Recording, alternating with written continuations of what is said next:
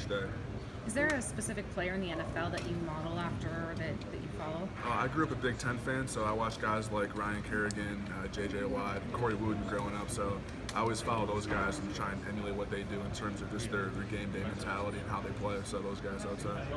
Given the J.J. Watt interest in the black in the, in the pass breakups, I mean, he's the king.